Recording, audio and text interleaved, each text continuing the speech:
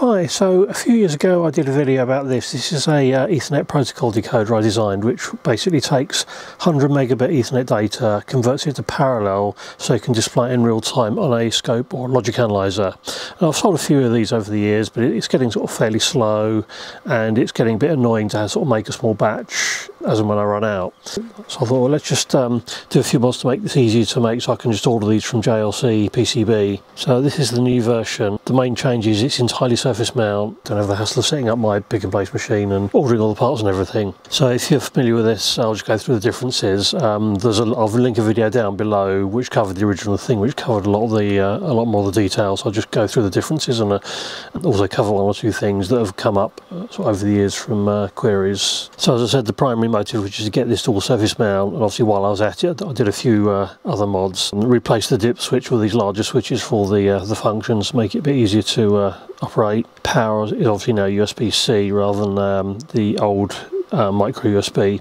Also, I found having the having the power on the side was actually a bit awkward because you've got your you know you've got your Ethernet cables here, you've got your logic analyzer cables here, and having coming something coming out this way was just a bit annoying. So that's now on this, so everything goes in line. Because this will normally be powered from the um, USB socket on the scope. Uh, another change is I've gone to color LEDs, um, which makes it I think a little bit easier to uh, to see what's going on. So the error LED is now red, and say each way each one's got its own color, whereas they were previously all white. So I think that maybe makes it a little bit more uh, easy to uh, instantly see what's going on. I've also removed the active LED because that wasn't actually any use. Other minor changes um, as a result of a couple of queries. It now passes all eight pins of the RJ45 from one connector to the next because um, some people are asking about that for PoE and in fact this is actually running PoE now. I'm just running this, uh, something I use in some of my installation. This takes Ethernet and generates 16 high-speed UART WS2812 streams and so that's actually PoE powered as well. And the other minor thing is sort of just as a, a side effect of changing this connectors is it's now tab up rather than tab down, so they're a little bit more convenient to uh, take out.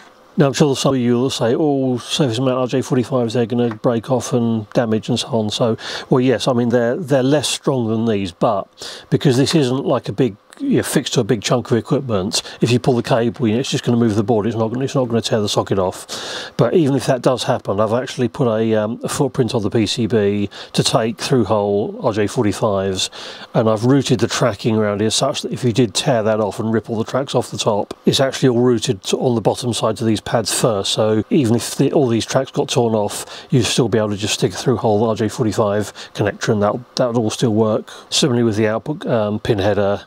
This does actually have the holes for uh, a through hole header as well, if you uh, prefer that, or if you want to maybe replace that with a right angle or something, you can do that. Okay, for those of you not familiar with this, um, I'll just quickly run through the functionality. There's some more detail in the first video, which I'll link down below. Um, so basically, this is taking our Ethernet packet, outputting parallel data that you can see along the top, which then gets decoded into hex values. You can then look into and there's uh, um, some marker and trigger signals which are the green and uh, yellow. Even if you only want to trigger you can't actually do that on 100 meg ethernet. If you look at the actual uh, waveform of the scope it looks like this. So you know you can't even tell when there's a packet on the line or not. It's just complete noise because of the encoding which is uh, why you need some extra hardware if you want to generate a trigger. So the uh, yellow is just a, a packet mark. Yeah this basically tells you when the where the packet is when it's active. So for example, if I make this packet longer, you can see that just covers the length of the packet. The green in this mode is a just a single clock per clock per byte. This can be useful, for example, if we're using a logic state analyzer, you can actually get it to clock on each each byte. Also, you can use that in combination with an nth edge burst trigger on a scope to actually trigger on a specific uh, byte within the packet, you know, say like the 16th byte or whatever. Now the common question is, well, you know, you can do all this stuff with Wireshark. Well, yes, you can, but what this gives you is give, you know, gives you the real-time display. Um, you can relate it to other signals in your system, and particularly for things like streaming data, you know, you can actually see the see the um, data in real time. So, for example, I can um, I just zoom in on our actual payload.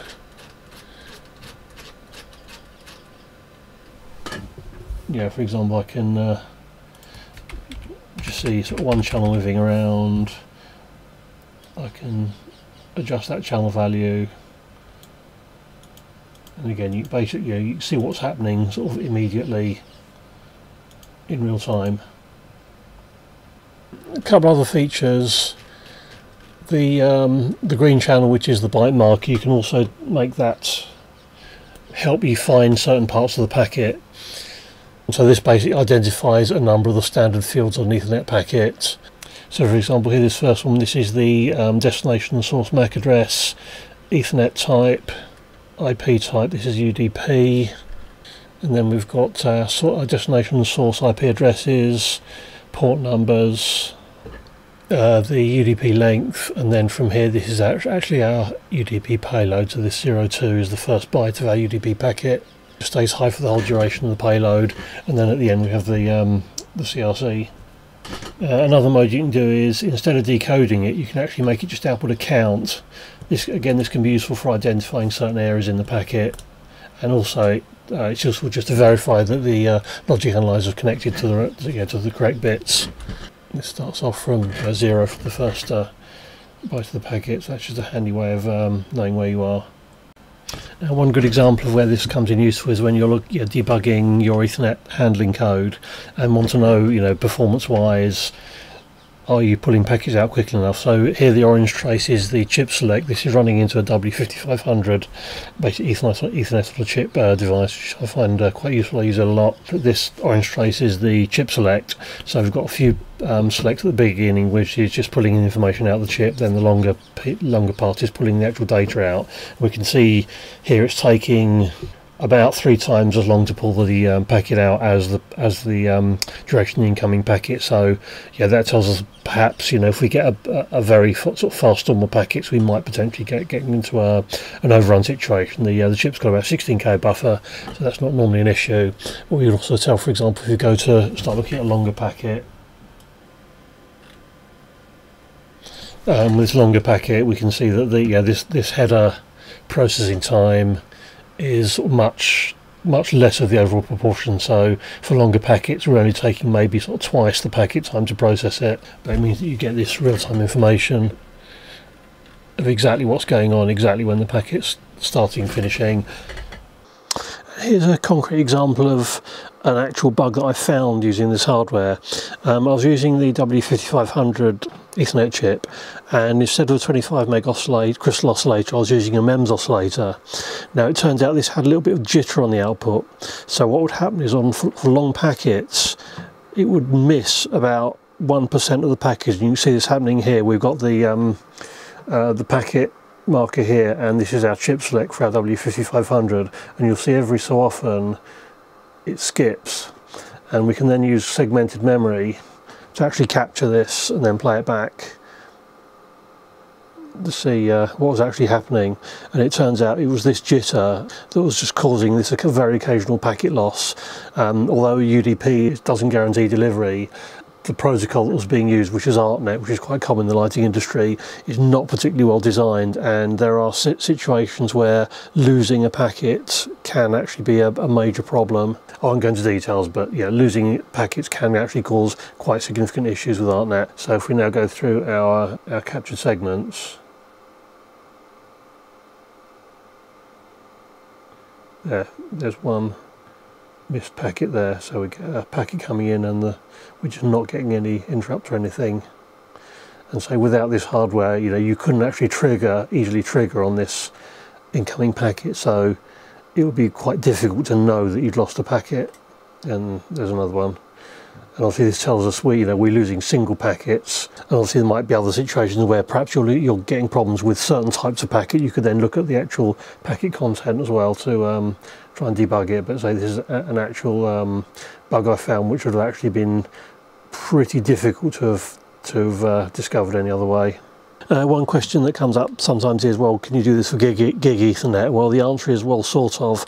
The problem is that to parallelize the uh, gig Ethernet, you'll be outputting data at 125 megahertz. So, you know, you need a fairly expensive scope or logic analyzer to actually deal with that. And in practice, quite a lot of the problems that you're going to use this de debugging would pretty much be the same at 101 gig. So just, you know, running the link at 100 meg, you know, this will cover a lot of those use cases. So I think I've actually had maybe one or possibly two series inquiries from that, so it wasn't really worth it to do it as a product. Um, if you want to find out more information, The website for this product is etherdecode.com. There's links to some of the other videos, all the product information, and um, this is now available from stock to purchase.